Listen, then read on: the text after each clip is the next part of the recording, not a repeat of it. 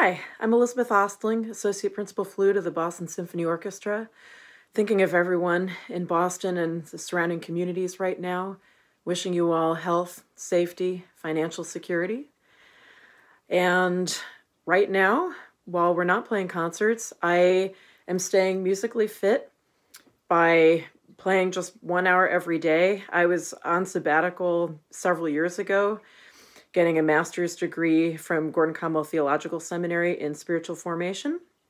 And I lived on campus for a year and I just practiced in the chapel for one hour every morning. And then I found out that when I had to come back and um, perform recitals and ramp up for uh, Spring Pops and then Tanglewood, uh, I was able to do so very quickly. So, uh, so I'm carrying that on and I'm playing one hour a day. And I start out by using this six liter breathing bag that uh, it's a medical supply. You can actually get it on Amazon like everything else. um, so I do some exercises on that that I learned from Keith Underwood. He's a fantastic flute teacher in, in New York. And then I move on to this. This is called a, a breath builder, and I do some exercises on, on that as well. And what that does is that it helps warm up my lungs even before I, I pick up the flute and start making noise. And then I start off by doing long tones. I, I start off just doing the, the low register really, really slowly, just one note at, at a time, starting with a low B. That's the lowest note on the flute. Um, just going up one by one, um, all the way up to a stratospherically high E. And then I do a third octave, just I, I practice doing soft attacks on, on the high register because it's another thing that's really challenging to do on the flute. And I brought with me uh, Canzone. It's uh, Barber. It's from. It's the second movement from Barber's Piano Concerto, and it's just an absolutely gorgeous flute melody. It starts off in, in the low register, so it warms up my low register. It's a, it's a, this particular Canzone. It's arranged for flute and piano, so I start off with that, um, and then towards the end, it, it goes to a high E that you have to play really beautifully and softly. So it just kind of has all ranges in it, and it's a really beautiful, very wistful melody. Uh, so I usually do that. Um, and I also brought arias from Bach cantatas, and I've been looking up translations online and, and playing and getting to know some of them, which has been very musically nourishing. Um, I think the hardest thing about playing in the BSO that people might not know, uh, for flute players particularly, is gauge how to gauge our air. Unlike any other instrument on stage, um, the flute is a tremendous waste in a sense because all other instruments you're doing some physical gesture that actually goes into the production of sound. So if you're if you're bowing, that makes a sound. If you're plucking a string, that makes a sound. Um, you know, if you're um, you know, uh, hitting the chimney, that that makes a sound.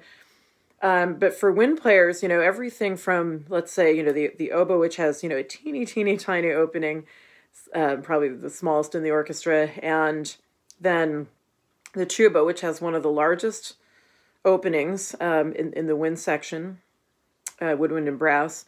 Um, but even so, all of the air that you're putting into the instrument actually produces the sound. Whereas with the flute, uh, you know, a lot of what you do is is is blowing over the instrument, and so a lot of what I do when I practice, um, and a lot of what I emphasize with my students is, um, all the time is just how best do you do you gauge your air.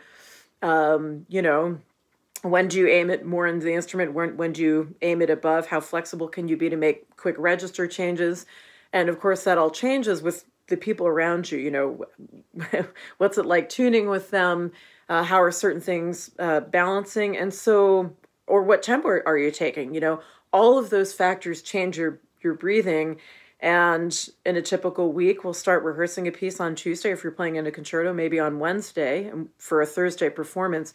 So you have very little time to actually rework your air and how, how you're playing something. Um, so when you practice you, you try to prepare for all eventualities and you know how slow might the conductor take this? How fast might he take it? How's that's going to affect my my airstream? But i always find when i play in the orchestra it requires far more air than it does somehow at, at home. So you have to adjust really quickly and, and that's I, I think that's the hardest thing at least for, for flute players in, in the boston symphony. Um, the best thing about playing in an orchestra, I would say, is is just the thrill of being around world class musicians. Just the the artistry, the um, the creativity, the subtlety, uh, the the the passion. Um, there's nothing like sitting in front of a great orchestra, which is why I, I dreamed of playing in an orchestra since age 15, playing Stravinsky's Rite of Spring for the first time. Um, and I think the best thing um, that the audience might not know about is how much we really are a community on stage. There's something about playing in an orchestra. You you have to be a team, and you have to be a team really in the moment because a performance unfolds moment by moment really quickly, and that means you have to make split second decisions without talking to each other. you have to communicate non-verbally, um, and so sometimes you know you, you can sense if a colleague uh, might be insecure about you know where are we? Sometimes you know just in, in the moment you might you might tap your knee at the at the next rehearsal bar or um, or something you know of course the the conductor communicates a lot of things non-verbally but musicians communicate a, a lot to, to one another i'm sure with the strings uh, with the way you're you know you're gesturing and and, and you're bowing um, if you're in the front of the section.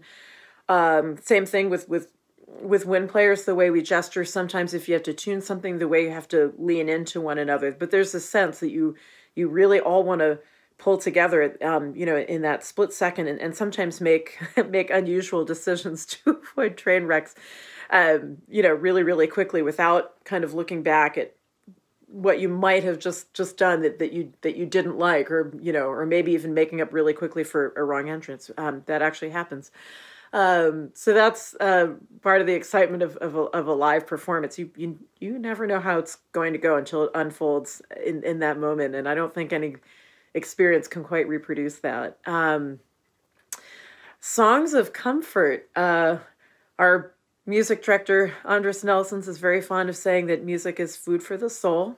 I absolutely agree with that. And one thing that I'd like to recommend that you listen to if, if you have never heard it, there's an unaccompanied choral work that's absolutely gorgeous. It's called Sleep by Eric Whitacre, spelled W H I T A C R E. And um, it's the, the words are absolutely beautiful and it, and it talks about um, actually anxiety and going going to sleep even in the midst of anxiety and somehow that ability to go to sleep bringing you almost in, into um, a, a, second world of, of hope and appropriately enough for, for this time Sleep was actually recorded. If you look up on YouTube, Eric Whitacre Virtual Choir, it was recorded around the world. Uh, he conducted it with, with people in their own homes, um, not even thinking of a pandemic, uh, people in their own homes recording their own parts to this, this choir. And so everyone was singing it at the same time around the world. Uh, it's, it's hard to think of a better song of comfort, I think, at this time. But I'd like to play something for you, uh, for my own song of comfort for you, uh, BSO audience. Uh, in September 2018, I was fortunate enough to play for a dear friend's wedding and um, some movements from Unaccompanied Telemann Fantasies. And of course, uh, during this time, we're, we're all missing a lot of exciting get togethers, uh, you know, engineering and scientific conferences, worship services, weddings, funerals, and of course, symphony orchestra concerts. I'm, I'm very much missing this at this time. Um, and so I'm going to play something that I played for her wedding. Um, and this is, in a sense, more of a song of hope than a song of comfort.